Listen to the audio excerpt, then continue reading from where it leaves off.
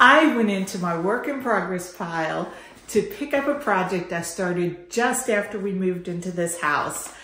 This has been sitting in my box for nearly two years, which is a bit of a crime.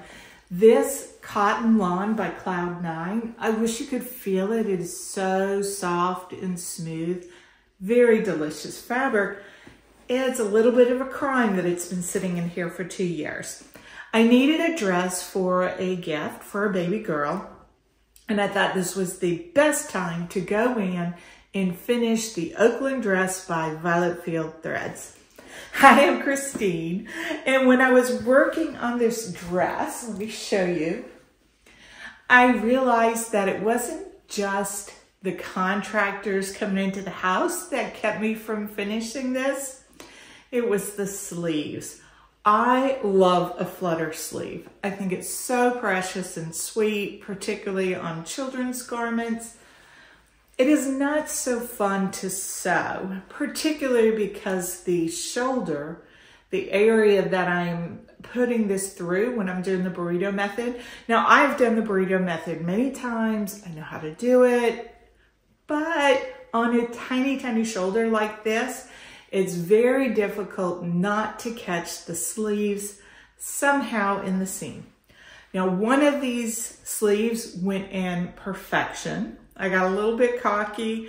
The second one, and I'll insert a photo somewhere here, I got little bits of this flutter sleeve caught in the seam allowance. And I was just a little bit undone about it.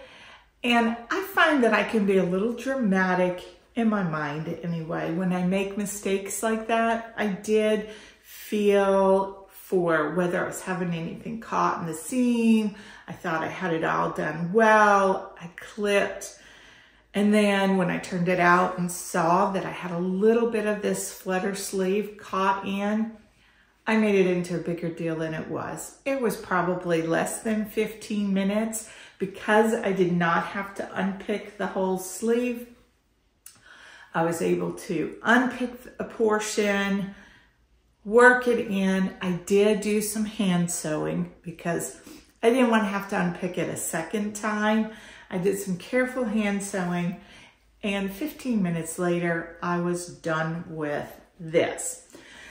I did film while I was at it a tutorial for how to gather using your serger. It's my favorite method for gathering little girl dresses. Now this one does need a bit of a press. So easy. I'm to link it up here. I'm to also link it in the description box below. I've been making a real effort to do more tutorials and sew-alongs on the channel. If you found this helpful, I would really appreciate it if you would like the video and subscribe to the channel. That lets me know to do more of it. So all I have left to do on this, other than giving it a really good press, is to add the buttonholes and the buttons. I do like to involve Charlie in my makes, particularly if I'm making something for a family member, and he's very interested in helping me out with this. He is not interested in learning to sew, but he does give me a lot of help, particularly in picking out buttons. So I gave him an option of about, I don't know, eight different buttons, and he very quickly narrowed down the buttons, and I think he was right. I was leaning towards these yellow buttons, predominantly because the color, I thought, wow, what a great color match. I also had picked out some blue ones where the color really did coordinate well. And Charlie quickly eliminated these buttons because he said these are just too large for the dress. And you know what? I had to agree with him. So he picked out these buttons. I have three packets of them.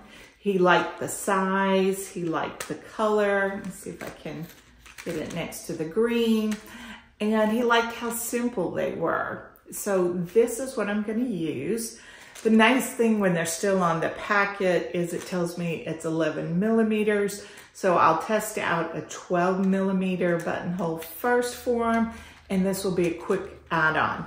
Now these are shank buttons. Normally I just like to sew the buttons in with the buttons that have holes in them You know how I like things simple and easy, but these are pretty and I think they'll look nice. So I'll do the buttonholes, mark my placements, and one day while we're watching a Netflix or a nature program, I'm going to add these buttons to the dress. A little hand sewing won't kill me, will it?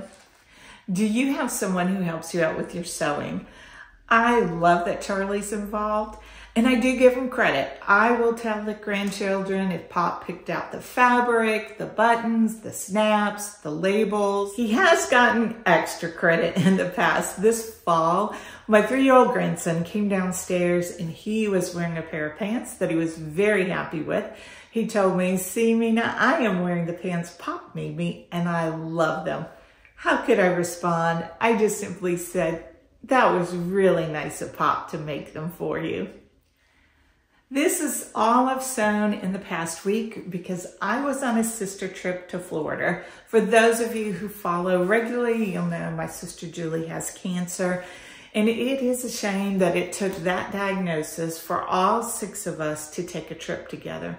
We had so much fun. We went to Little Havana in Miami and did a food tour, took loads of silly photos, selfies, and just had the best time. We also did an airboat ride in the Everglades, saw loads of alligators, some birds. It was fun, fun day. Now we were sending my parents photos all throughout the trip and I got a text from daddy and he said, I love all the pictures, but what I love most of all is seeing all of you together really enjoying yourselves. And as a parent, I don't think I could ask any more for my children than for them to be grown adults and really truly enjoying each other.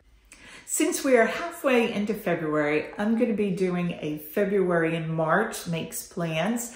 That will be coming out on Sunday. I have so many things that I'm excited to sew and I'm going to be sewing more because I'm going to be more intentional throughout my days so that I can A, sew more, which I love to sew, B, I really have some holes in my wardrobe, some staples that I need to sew, and that'd be a good thing. Not to mention, I need to be sewing down my stash.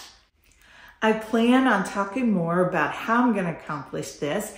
If you're interested in hearing my master plan, let me know. I hope to see you on Sunday for my plans video. I'll see you later.